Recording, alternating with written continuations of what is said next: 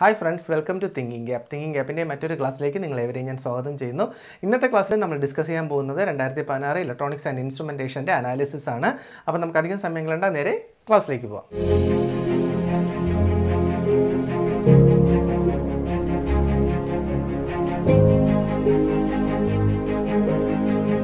അപ്പോൾ നമ്മൾ ഇന്നത്തെ ക്ലാസ്സിൽ ഡിസ്കസ് ചെയ്യാൻ പോകുന്നത് ഇലക്ട്രോണിക്സ് ആൻഡ് ഇൻസ്ട്രുമെൻറ്റേഷൻ്റെ അനാലിസിസ് ആണ് നമുക്ക് ഫസ്റ്റ് ചൂസ് ചെയ്യാൻ നോക്കാം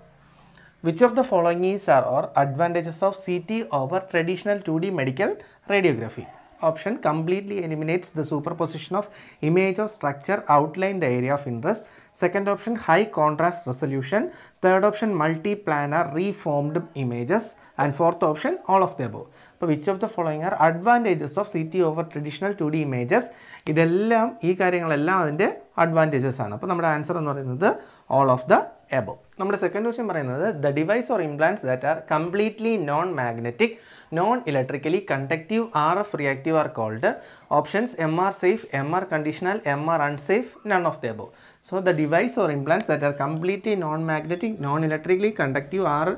reactive are called the answer is M R safe next question പറയുന്നത് which of the following technique is used chemistry to provide a finger print by which molecules can be identified molecules identify ചെയ്യാൻ വേണ്ടിയിട്ട് ഉപയോഗിക്കുന്ന finger print technique ഏതാണ് options infrared spectroscopy Fourier transform spectroscopy Raman spectroscopy and Czerny Turner monochromator അപ്പോൾ finger print by which molecules can be identify ചെയ്യാൻ വേണ്ടിയിട്ട് use ചെയ്യുന്നത്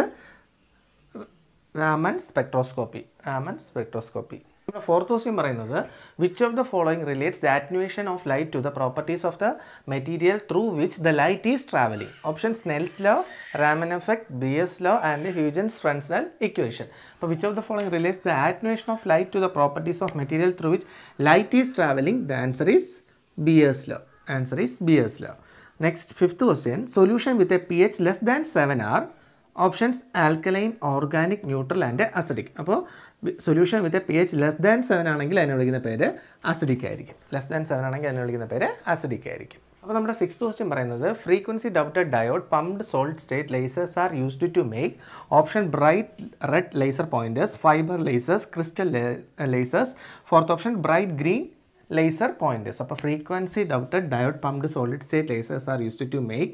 bright green laser pointers.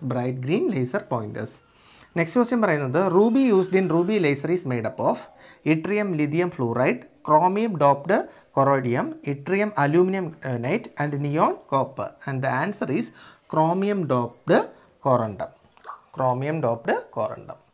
അപ്പോൾ ഇന്നത്തെ ഈ ക്ലാസ്സോട് കൂടി നമ്മുടെ രണ്ടായിരത്തി പതിനാറ് polytechnic lecture in electronics and ഇൻസ്ട്രുമെൻറ്റേഷൻസിൻ്റെ questions full ഇവിടെ കംപ്ലീറ്റ് ആയിരിക്കുകയാണ് നമ്മളിനി അടുത്ത ക്ലാസ്സിൽ വേറൊരു അനാലിസിസുമായി വരുന്നത് വരയ്ക്കും ഗുഡ് ബൈ